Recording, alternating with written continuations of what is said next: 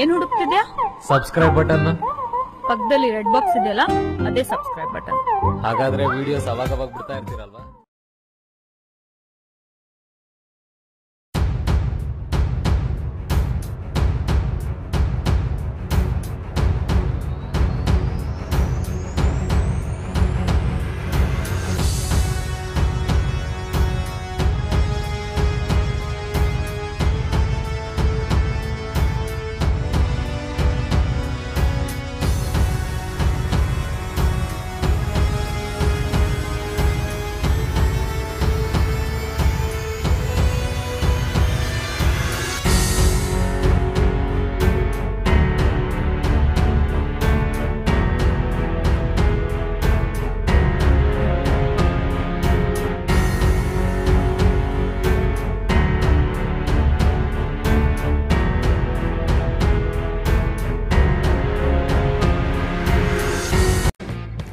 AG studios ಚಾನೆಲ್ಗೆ subscribe ಆಗಿದ್ದೀರಾ?